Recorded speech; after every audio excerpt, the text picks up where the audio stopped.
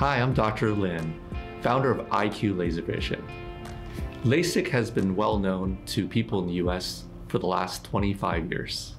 And the reason is it's an excellent procedure with a very long positive track record. However, when your prescription is higher than minus seven, or your health of your cornea is not as good, then we may have to think about other technologies that may be better for you. At IQ Laser Vision, we're dedicated to providing the best FDA-proven technologies to make sure that you get the best outcome with the greatest amount of safety. Now, as our prescription increases over minus seven, what happens is the cornea is flattened further and there may be induction of something called higher order aberrations, which can reduce the quality of vision. Furthermore, we're reducing the amount of corneal tissue you have, and that can weaken the cornea in a condition called keratoconus. Now, keratoconus is naturally occurring in about 1 in 2,000 patients.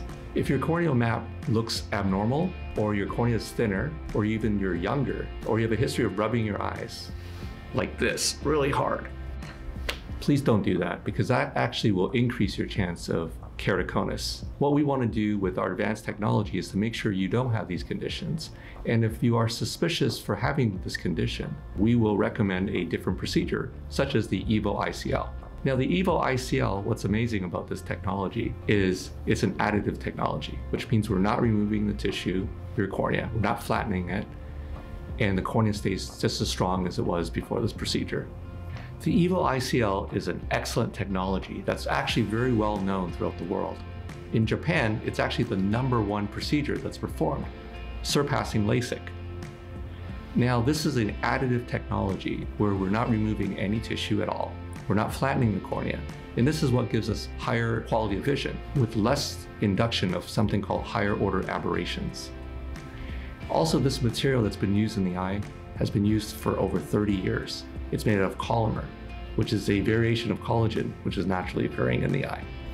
Finally, this is a permanent procedure, but even though it's permanent, it's actually removable if there's problems. It's a very rare case where we'd have to do that. Some of the risks of ICL from the past are actually pretty much non-existent these days.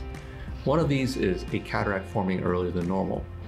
In the new study with EVO, which has a little center hole called a central port, this allows more nutrition for the natural lens. The rate of cataracts is actually almost zero. So that's great news for us. The second, um, the chance of a pressure increase in the eye or glaucoma is virtually zero when the, the lens is sized properly. Now we have special instrumentation called the ArcScan, which allows us to size the lens optimally. In fact, if we don't use the technology and we rely on the FDA approved method of sizing the lens, 52% of the time we actually put a suboptimal lens. For most people, it's actually not a problem. We're not gonna have these pressure problems and we're not gonna have a cataract because the lens now is so forgiving because of the advanced technology with the central port. However, it's always best to have the optimal lens and so that we can further reduce any potential of these side effects. We'll talk a little bit more about the ArcScan technology, which is an amazing addition to our portfolio of technologies to make the best outcome for you and your family. If you want to live a life without glasses and contacts, like I have 25 years ago, don't hesitate. If you're not a great candidate for the LASIK or SMILE procedure, the EVO ICL is an excellent option for you to realize your dreams.